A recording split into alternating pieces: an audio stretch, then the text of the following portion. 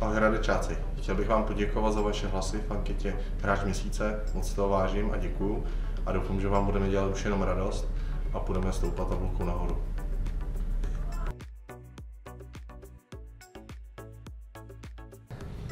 Ale určitě byste si přijel Honzu Kováře. Něco jsme spolu zažili, vyrostli, od dorostu, od dorostu jsme spolu hráli, jsme spolu v Plzni titul, a je to vítězný typ, fantastický hokejista, dobrý klub, takže asi jeho bych si přivedl tým.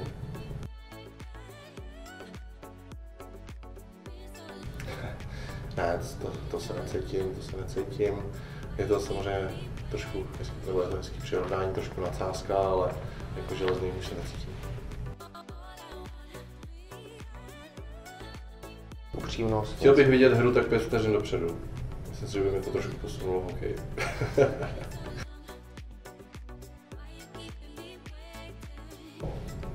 Pivo?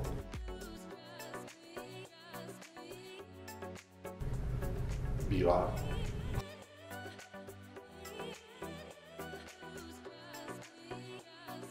Jo, tak to vůbec, to vůbec nevím, ani nevím, jestli to je rok, dva zpátky, nevím, jaký rok byl Rádě Pavlík v Brně, ale asi se tam plétnu, chtěl slavit s náma, ale bohužel hrál v Brně.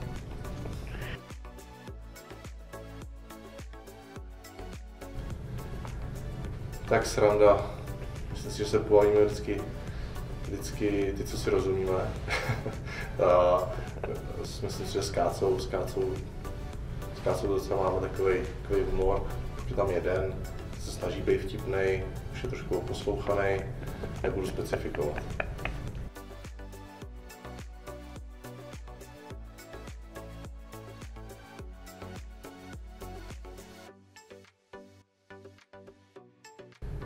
Tak omotávám Selkýku jenom sám, omotávám ji vlastně před každou třetinou i zápase.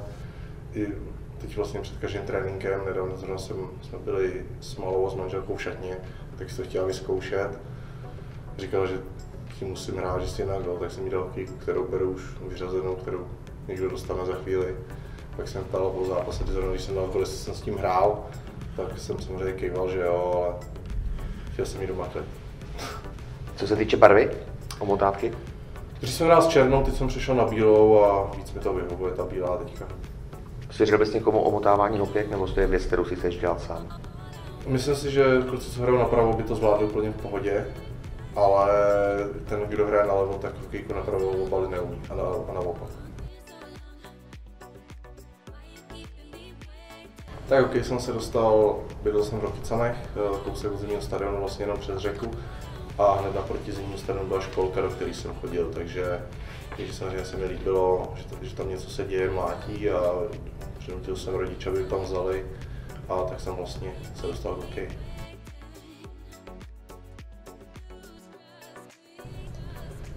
Tak z historie určitě zisk, zisk mistrovského titulu, prezidentský pohár, finále ligy mistrů, starty v národňáku, to jsou takový, takový ty milníky, který asi vzpomínám nejradši.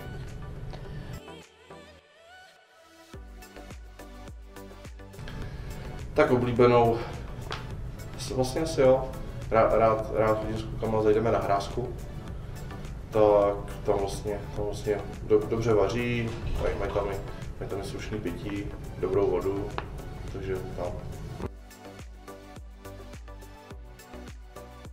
Smlouvrad mi končí na konci sezony.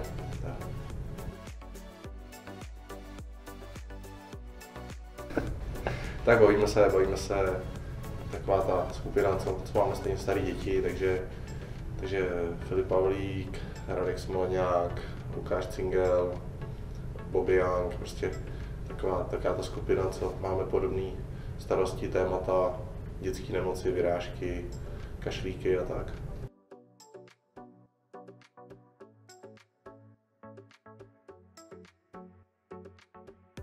Tak ten harmonogram se moc, se moc nemění, většinou hrajeme doma v 6, rozvrstení máme od 10, takže já stávám 7.30, na 8 nebo kolem 8 se dostanu na zimák, nasnídám se, v 9 máme poradu, po 10, po 10 jdeme, jdeme na let, eh, po 11 nebo 11.30 jdeme, jdeme na oběd, pak jedu domů, dám si, dám si tak hodinku před zápasem, dám si nějakou svačinu, kafe a většinou, většinou vezu Filipa Pavlíka s Cingim, protože si dal to manželkám, dělali kompromis. A tak 15, 20, 15, 30 přijíždíme na stadion a ve 4 oficiálně se nás chystáme se a do to začíná.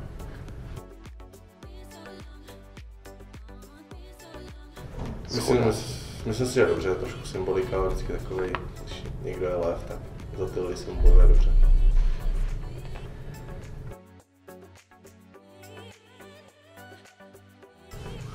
Tak ta, ta pyrotechnika asi, asi byla navíc, přece jenom tím, jak je hokej, hokej se hraje v hale, tak tom ten tým nebo to tak neodezní jako třeba na fotbalových, takže, takže to asi na, to, na ty hokejový zápas nepatří.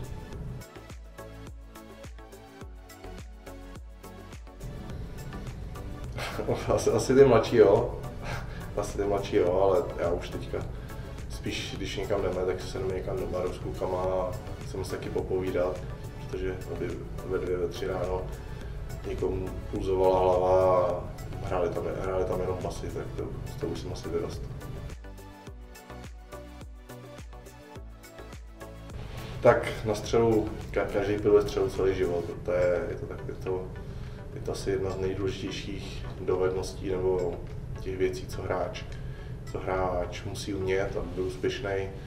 A každý, každý na to má své, někdo chodí střílet před tréninkem, stopku, někdo odpoledne se jde na střelnici, nikdo, nikdo jí tolik nepiluje, má to dan Pána Boha. A já spíš, spíš za mladé, jakoby ta technika střely, aby prostě z té hokejky to vyletělo, vyletělo co, co nejlíp, co nejrychlejš. A vždycky se spíš zkouším bavit s, s golmanama, jaká ta střela nejnepříjemnější, jestli prostě do protipoju, pod mapačku, nad mapačku. A většina se jich shodne, že je hlavně, ať je ta střela rychlá. Ať dlouho netrvá, aby neměli ten prostor se na to připravit.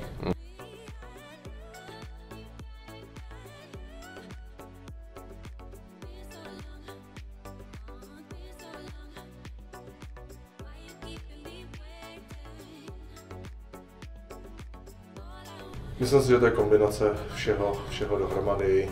Samozřejmě každý, každý hokejista se připravuje kondičně, navštěvuje fyzioterapeuty, prostě snaží se o sebe starat, aby, aby to tělo fungovalo, je to jeho nástroj, co ho živí. A samozřejmě, čím jsem starší, tak to tělo, tělo znám líp, vím, co potřebuje, jak, na jaký cviky třeba dbát. A samozřejmě asi bez dobrých genů by to nešlo, protože, protože i, i táta si myslím, že je docela odolný nebo byl odolný v tom sportu, co dělal a, a patří, patří k tomu je samozřejmě to trošku toho, nechci říct štěstí, ale prostě to, to zhora, že to je daný, že se takhle sešlo a nebejvám, nebejvám zraněný, musím takhle.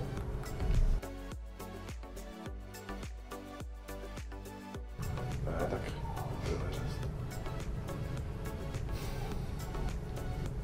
Asi žádnou nemám. ne. Dobře, tady se bude prášit. Neřest. Vyloženě neřest, kterou možná myslím 60 na 40 dopředu. Než dobré. Hokejově. Hokejově. A lidsky? Lidsky... Možná jsem kolikrát moc přísný. To je taková vlastnost já třeba si myslím, že to je správný, ale vím, že některý lidi s tím mají problém. Dobře.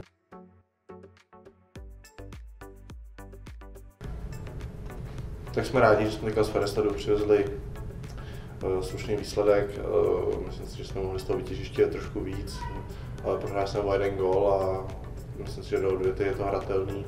Víme, víme co, kdy nás tlačila bota a do odvety určitě si dáme na některé věci pozor a myslím si, že je pořád otevřen 50 na 50.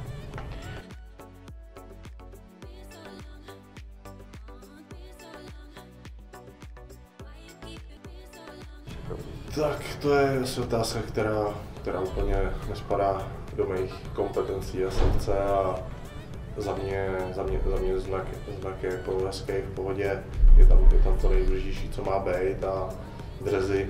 Každý rok, každý rok se snaží odpovědní lidé, aby, aby byli co nejhezčí, nejjednodušší, ale jsou prostě nějaký standardy daný svazem, takže když vám tam dají modrou reklamu typ sport na rukáv a na límeček, tak je potom těžký, aby, aby to vypadalo za každou cenu dobře.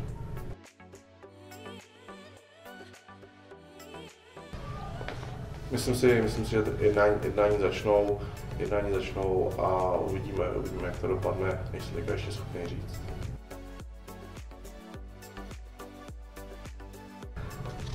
Jak už jsem odpověděl předchozí, předchozí otázce, tak hm, v tom, hrade, tom hradeckém drezu bych řekl asi na ten finálový ligy mistrů s Roumou.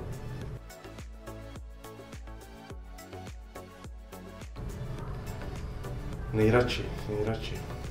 Myslím si, že rád docela hru proti Karlovým varu.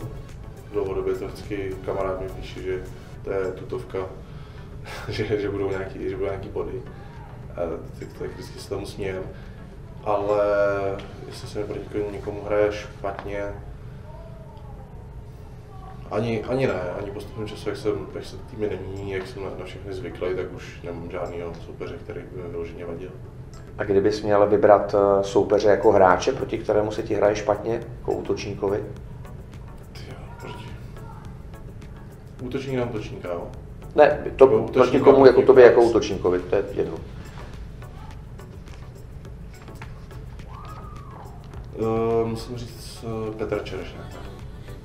Ex, extrémně chytrý, vidí, vidí tu hru trošku dopředu a aniž by musel jít do nějakého souboje, tak prostě výborně pozičně, hokejkou, hraje, hraje výborně a myslím si, že proti tomu se těžko prosazuje.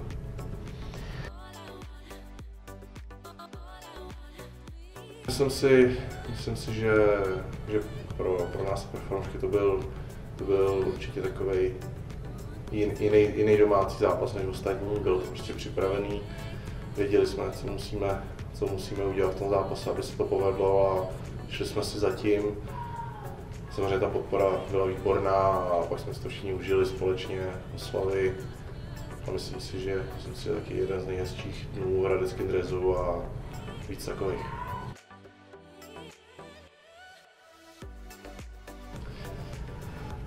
Tak proč si dávat malý cíle samozřejmě, eh, ale víme všichni, jak je ta, jak ta liga těžká, co tam hraje za týmy, z jakých zemí, v jaký kvalitě a samozřejmě bychom chtěli překonat, překonat ten výsledek před tří let, myslím, ale všichni víme, že to bude extrémně těžký, a, ale budeme zatím dělat maximum a uvidíme, jak se to všechno vyvine.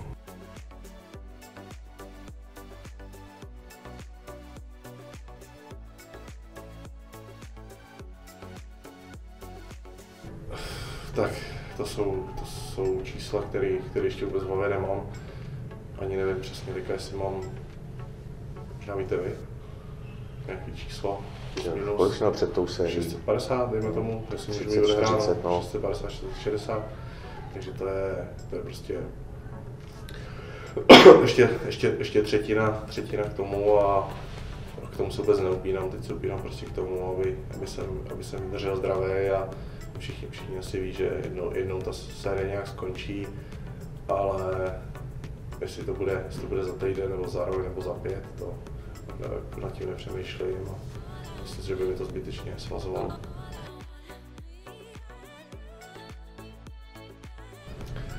Tak myslím si, že, myslím si, že fotbalový stadion je pro hradeckého fanouška sportovního velká, velká odměna. Co, se, co jsem viděl, tak má být krásný a město si to zaslouží. Fotbal se tu, fotbal se tu hraje dobré, prostě myslím si, že po postupu nikdo nečeká, že se budou pohybovat takhle v horních patrech tabulky. S Rouchovzací tam mám pár, pár známých, takže, takže občas, občas to proberem. Myslím, že tu práci dělají dobře, takže si zaslouží, zaslouží ten stadion, že to je fakt pro ně odměna. A v Hradci si, že má výborný fanoušky, chodí, chodí ve standardním počtu, atmosféra na domácích zápasech je dobrá a my za to můžeme jenom poděkovat.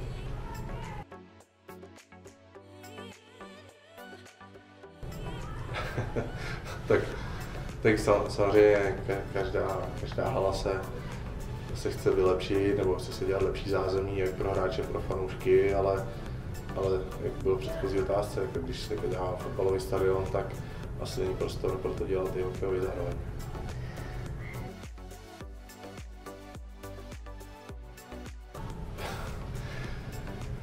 Kdybych, kdybych nebyl hokejista, tak bych to asi nesledoval.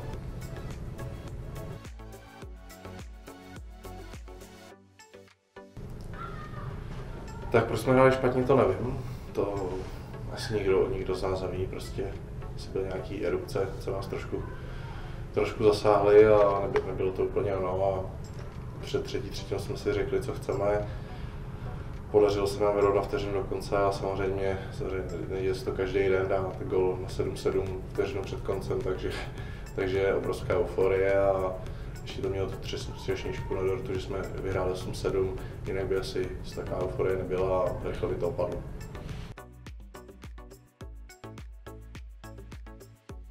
Tak chtěl bych po, pozdravit Daniela Brandu do Litvínova, v závorce z Radka Smolňáka, tady z Tereziánu, všem řeknu, kde bydlí, aby všichni zazvonili. a ne, nevím, proč, nevím, proč jsem ptá na tu otázku, ale jak vidím rádi Pavlíka, no, jako, jako fousatý dítě, bych řekl asi ještě.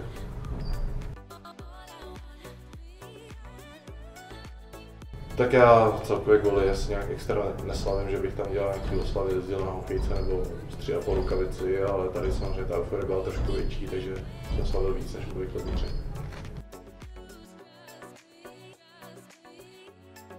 Tak miluju tenis, jízdu na kole a dřív jsem hrál házenou, takže tady ty tři sporty.